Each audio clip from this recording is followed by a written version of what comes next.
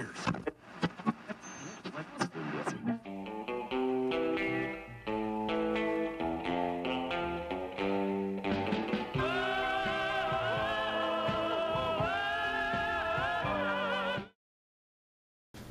Hello everybody, this is Gregg from Gregg's Vintage Workshop. I'm not actually coming to you from the workshop today. I'm coming to you from uh, North Carolina, my house in North Carolina where my daughter and granddaughter and son-in-law live. And uh, just thought I'd do a quick video and show you guys a little stuff around here. Just so I got something to do. I haven't put a video out since we left town and uh, figured I'd give you guys something to look at. I don't know if you can see my full shirt. I got a new shirt. This is going to be my go-to shirt when I make videos now. You can see it. No such thing as too many vintage radios. Probably can't see the bottom of it, but you'll see it in other videos. Anyway, let me get you off of what I got you set on. I'll show you around here. Okay, so this is the, the garage where I was just standing. Now, I'm going to tell you right now, this is a very messy, messy, messy, messy garage. Very full my son-in-law likes to do a lot of various things here, but uh, so that's kind of the uh, cabinetry work area. This is a, we're in the garage here, and this is a paint booth that he built where he paints stuff.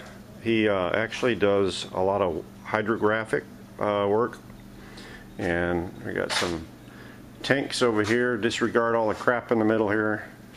He's got some tanks that he designed over here that he does his hydrographics in. He actually has a, a wheel down in there that he was doing some experimental work on. But uh, he does a really good job. Here's the other side of the paint booth. The door to go in there. There's some hydrographics that he did. Some test hydro hydrographics that he did.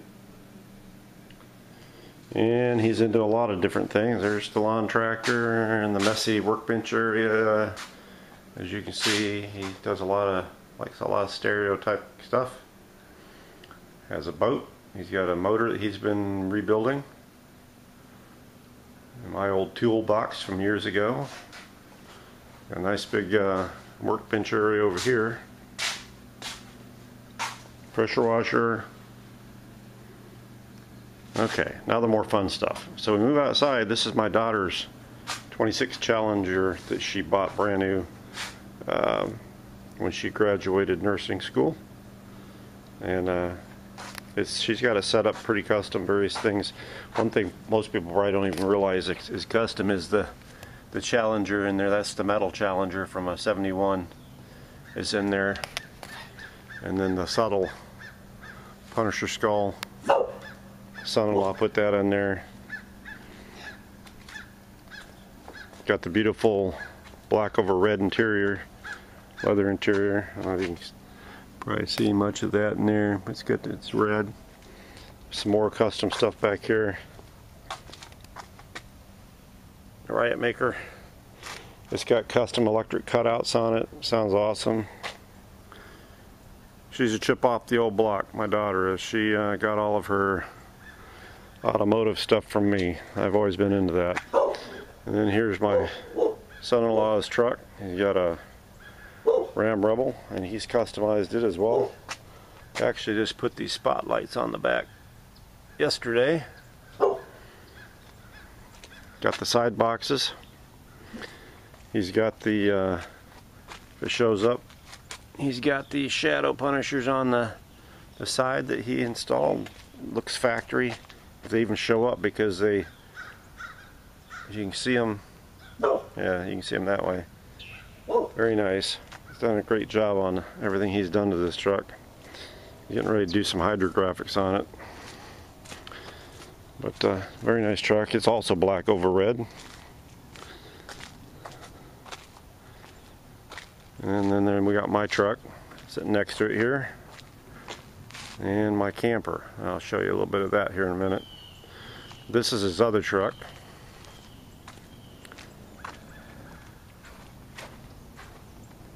It's all custom inside. It's dirty because it's been sitting outside here, but I think it's an 81 GMC.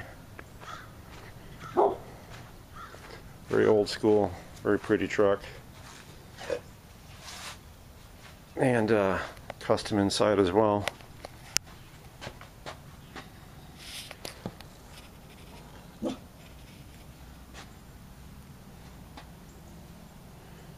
Beautiful paint job on it. He shows this truck quite a bit.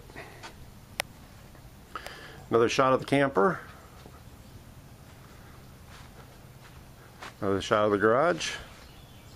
I told you we have a pile of dogs here. That's uh, Harley. That's Dallas. Hey Dallas. Uh, that's our shed. And here comes some of the other dogs. The one running up, that's Helena. And my dog, Hoss, and then the big brown dog, that's uh, Hermione. We have a little Quonset hut here. That's his boat. And the motor in there's four. But, uh, yeah. So, again, there's my truck. So this is the camper. She's a pretty camper, big shoebox to pull. You don't get very good uh, mileage when you pull it. But it's uh, a newer camper I think we bought it in 2017, but um, it's supposed to look old school. It's actually pretty nice inside. It doesn't have a booth any longer. I took the booth out and we put a couple La-Z-Boy recliners in there. It's not unlocked right now. I'd take you inside. Kind of show you what we got. But uh, pretty nice. We like it a lot. So, this is the front yard, that's the house. And uh, anyway, that's the house I come to when I'm in uh, North Carolina. So I asked my daughter to uh, demonstrate her exhaust cutouts to you. I wanted to show you, I don't know how well this is going to turn out. She's got custom uh, lights, light package in those neons as well as the driving lights change all different colors. She just kind of likes the uh, the green neon with the violet driving lights. But uh, she can change it all different. She can have them like flashing. they flash, they cycle, whatever you want. Um, she even has blue and red, but that'd be illegal if she ran those. But anyway, so that's pretty cool. So um, I asked her to demonstrate the cutouts. She said that you guys got to forgive her for the car being dirty. So, so right now, the, I think the cutouts are closed right now. Rev it up with the cutouts off, babe. All right, now open them up.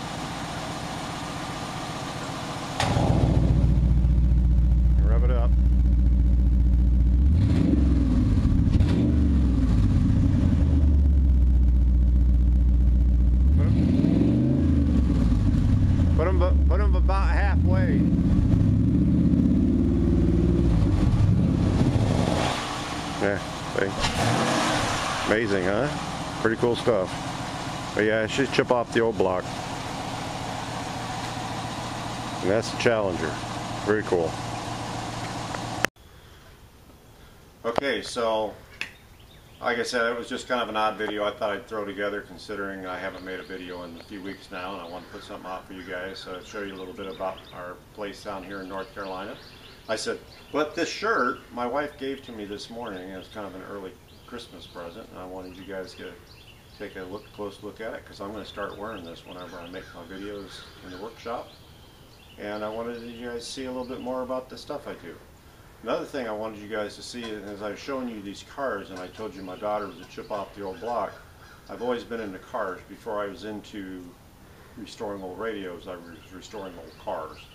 And uh, I did a 57 Chevy wagon quite a few years ago did a 69 El Camino quite a few years ago. Uh, and then I did uh, 1966 VW Bug in 2010. It took me two years, start to finish. I got over 600 photos. I've got uh, a video where it's documented, which I'm going to put the web address for that because it's on the forum. But you guys need to check it out. It basically takes it from day one to the very end, and at the very end of the of the uh, thread, there's actually a link to a video where it got sold at auction in Mecum. I'd like you guys check that out. And then uh, I had a 2014 Corvette that I highly modified under the hood. And uh, unfortunately, that's on a Corvette forum, but I don't remember that address anymore because I no longer have that. But anyway, just a quick little video here, and uh, thank you for my daughter for filming this piece for me. And uh, so, from Gregg's Vintage Workshop, thanks for watching.